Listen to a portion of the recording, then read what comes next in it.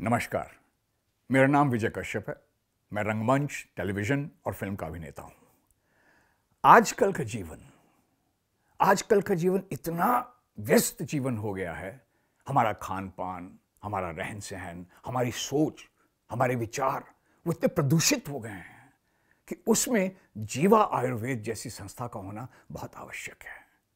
अब आप सोचेंगे कि मुझे जीवा आयुर्वेद के बारे में कैसे पता चला?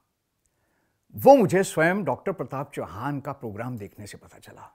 मैं जब भी घर पे होता हूँ, मैं कोशिश करता हूँ कि उस प्रोग्राम को मैं मिस ना करूँ, क्योंकि उसमें जो वो कुछ घरेलू तरीके बताते हैं बीमारियों से निपटने के लिए, या जो बाकी दूसरी सलाह देते हैं, वो अद्भुत हैं।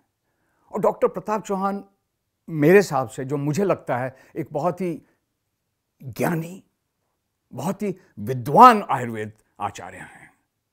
और मैंने उनके बताए हुए नुस्खे शुरू किए तो मुझे खुद को अपने स्वास्थ्य में, अपने पाचन में, अपनी त्वचा में, अपने, उनकी बातें सुनकर अपने विचारों में बहुत सफ़ाई मिली। मैं उनका बहुत शुक्रगुजार हूँ। मैं बहुत शुक्रगुजार हूँ कि वो एक ऐसी संस्था चला रहे हैं जो एंशियंट तरीके से जिस तरह से हमारे यहाँ उपचार हुआ करता था आयुर्वेद में, वो उन्हीं, उसी विधा को उसी प्रणाली को लेकर चले हैं एंशियंट प्रणाली को लेकर चले हैं, ताकि, क्योंकि डॉक्टर चौहान का कहना है कि हर शरीर अलग होता है। कोई एक दवा हर शरीर के लिए नहीं दी जा सकती, जो आजकल बहुत सी, आप कमर्शियल्स देखते होंगे। उन कमर्शियल्स में होता है, ये दवा लीजिए, पेट साफ़, ये साफ़, वो साफ़। नहीं, ऐसा नहीं होता। उसका कारण क्या है? डॉक्टर चौहान कहते हैं, उसका कारण जानना बहुत ज़रूरी है कि उस शरीर में वो विकार आया तो क्यों आया? और उस विकार को सही करने के लिए कौन सी दवा है जो सही काम करेगी?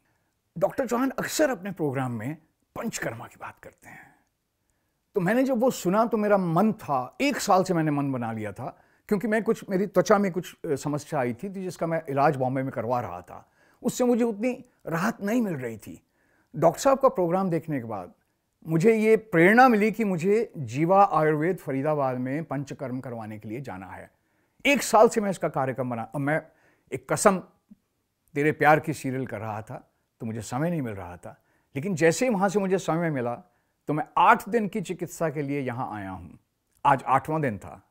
और इन आठ दिनों में जिस तरह की चिकित्सा है, जिस तरह का पंचकर्म मतलब मुझे दिया गया है, उससे मुझे बड़ा अच्छा महसूस हो रहा है। ऐसा लग रहा है शरीर बिल्कुल हल्का हो गया, पाचन बिल्कुल आपका नॉर्मल हो गया। और कोई वज़न नहीं लग रहा, जैसे शरीर में कोई वज़न नहीं है, क्योंकि भारीपन जो आता है वो आपके पाचन की समस्याओं की वजह से आता है।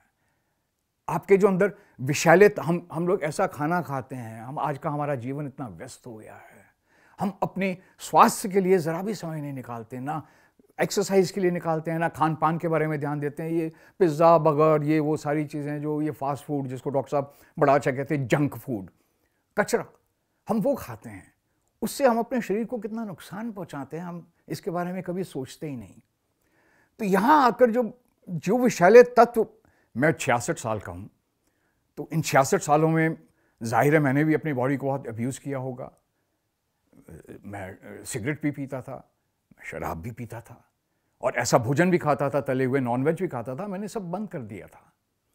मैंने नॉनवेज खाना बंद कर दिया, और डॉक्टर साहब की बातचीत सुनने के बाद मेरी और प्रेरणा मिली कि नहीं, ये नॉनवेज अच्छी चीज़ नहीं है। ये शरीर को नुकसान देती है। पचने में भी समय समय ज़्यादा लगाती है। तो आपके पाचन शक्ति को अपने सामर्थ्य से पाँच गुना ज़्यादा काम करना पड़ता है।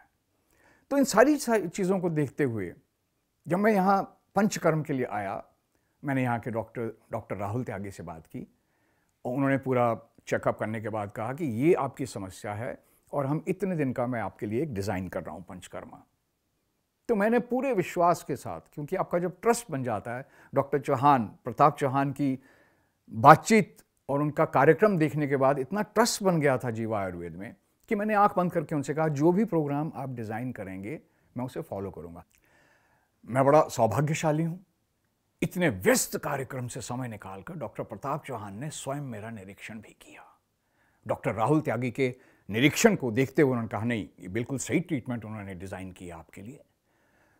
फिर उसी दौरान मुझे ये सोचना मिली कि जीवा आयुर्वेद का यहाँ फरीदाबाद में ही, करीब ही एक बहुत बड़ा वेलनेस सेंटर खुलने जा रहा है, जिसमें बहुत सारी आधुनिक सुविधाएँ होंगी।